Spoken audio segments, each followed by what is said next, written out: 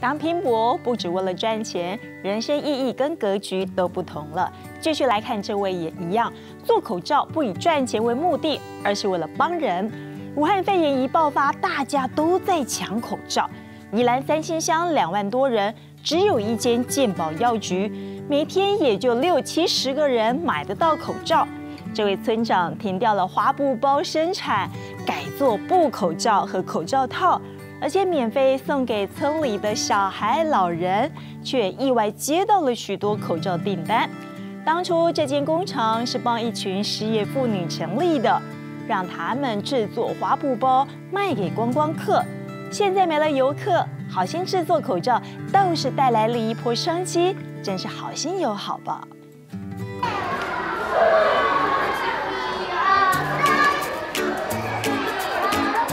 这将那张也翻过来，最低年级的，最高年级，啊，最老师。这边还有多少要这个这些不放。来，各位小朋友，大家早安。啊，我是村长阿公。下课时分，小朋友齐聚中庭。宜兰三星乡月梅村村长王全龙带着各式可爱布口罩。要带大家一起防疫。武汉肺炎传染力很恐怖，所以呢，呃，学校都会要求大家要戴口罩。我们的医疗口罩可能就会不够用，因为这样子，所以村长阿北做了很多的布口罩。好，拿着。多彩多姿的。好，多彩多姿。小巧布口罩，缤纷色彩与多样图案，令人爱不释手。王全龙不忘亲自示范。教小朋友正确使用。放学的时候坐娃娃车，或要去安亲班，它是一个密闭空间。各位小朋友，有没有有没有医疗口罩？布口罩后面有个开口，铁在上面，把它放进去里面。好。对，弄平就好了。然后这个铁的部分在上面，然后把它这样放进去。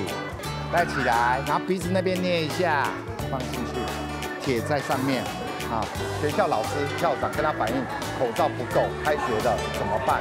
然后所以议员他就买了，跟我订购了一千两百片的口罩。一般小朋友你让他太素面的话，他可能觉得说戴这个这么丑丑的在嘴巴上，他可能不要。所以我们特别选了一些卡通图案的。这样，那这样子小朋友戴起来，你觉得 OK 吗？要需要改进的地方，我们再去改进。这个这个可以再调整。啊，好，好好好，让我知道啊。回去的时候这样子用手搓洗一下就可以了哈，然后记得把它晾干。如果干了以后，再用吹风机，叫妈妈用吹风机把它吹一吹，这样子就可以消毒。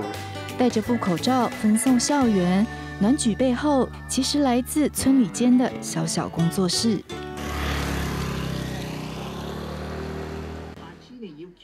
收钱花来咱最尾欣赏哦。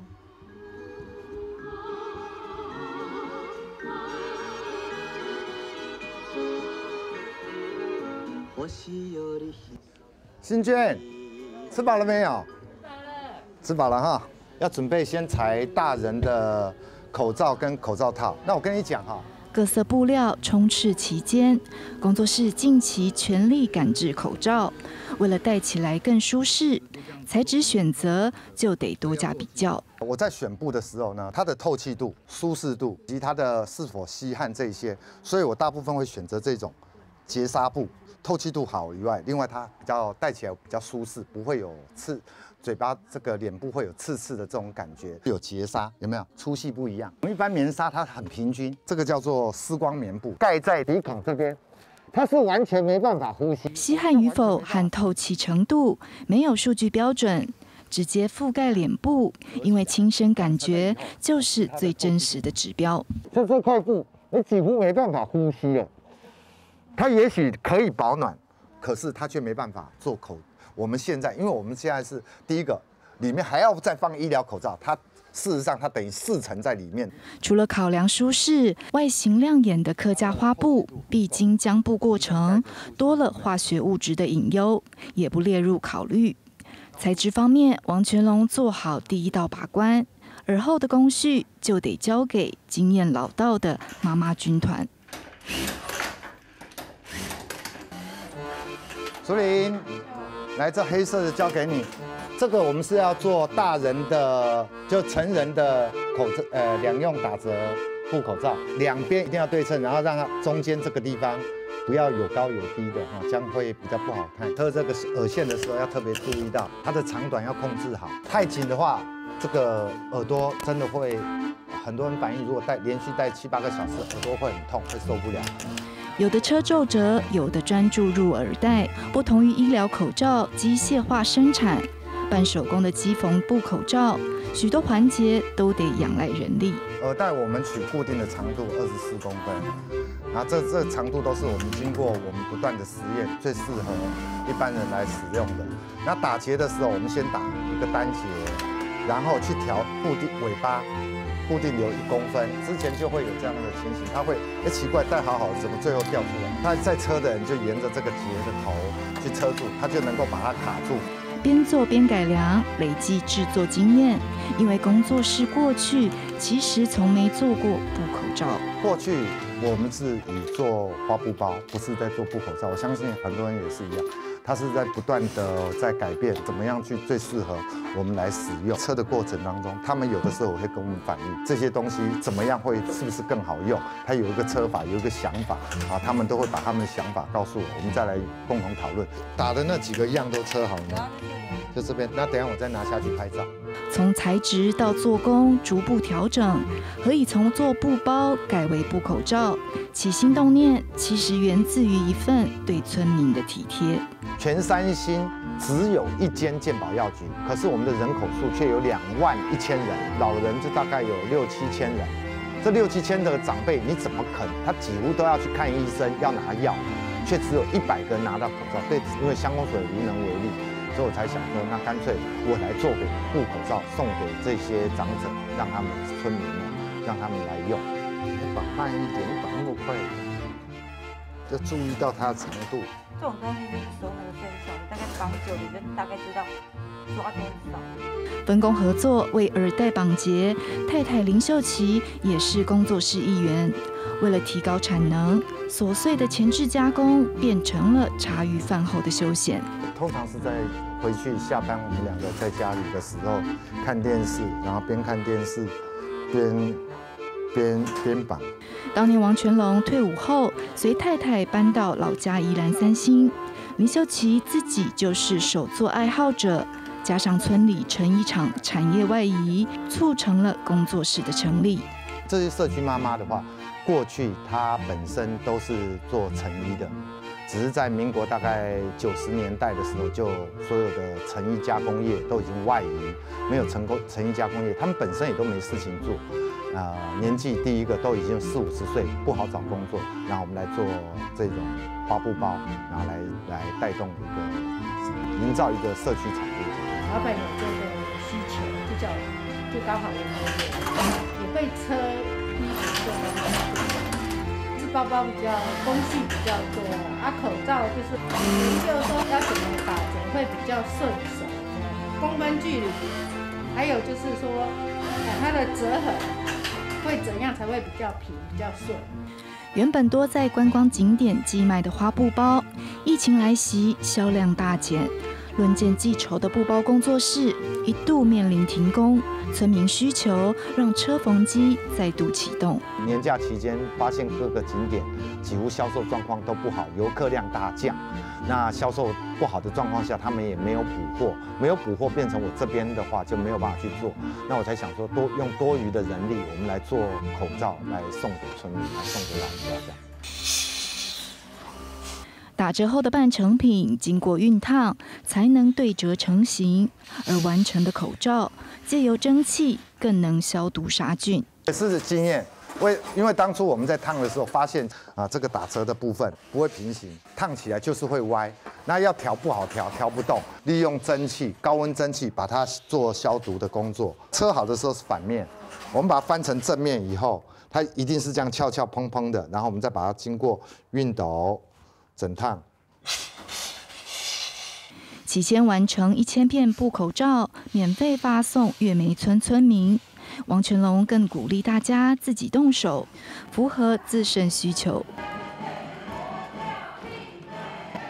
各位阿姨搞早。这届咱拢有做布口罩嘛，有在上布口罩，啊有够用无？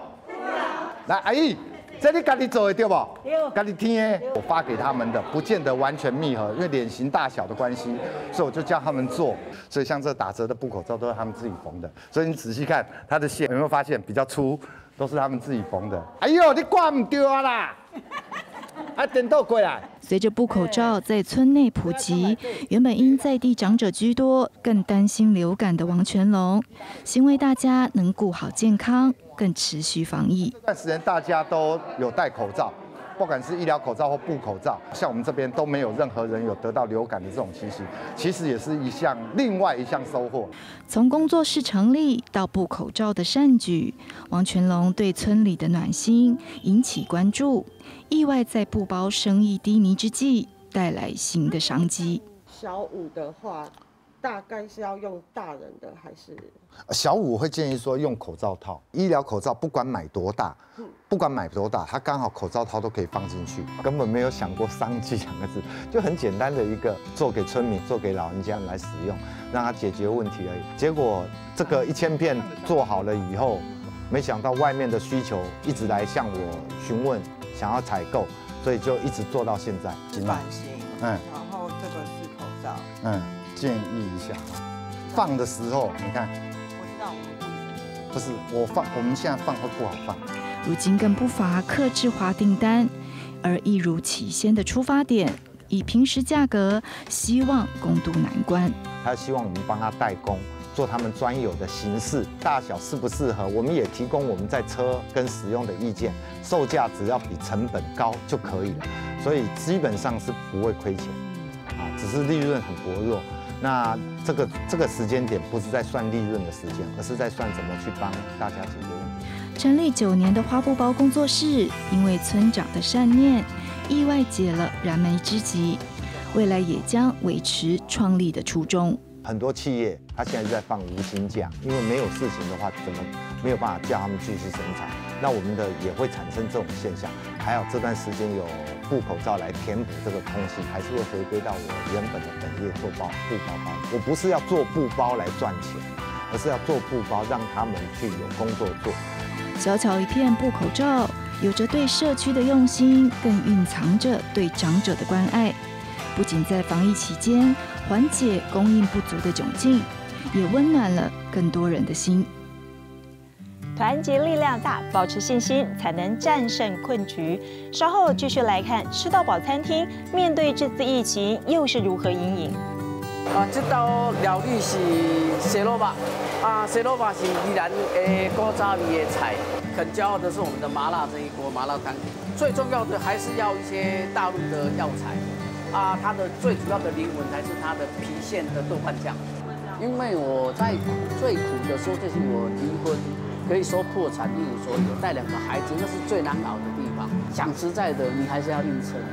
就像我说，我就是跟他存这些年，我这种想，这是最后的机会。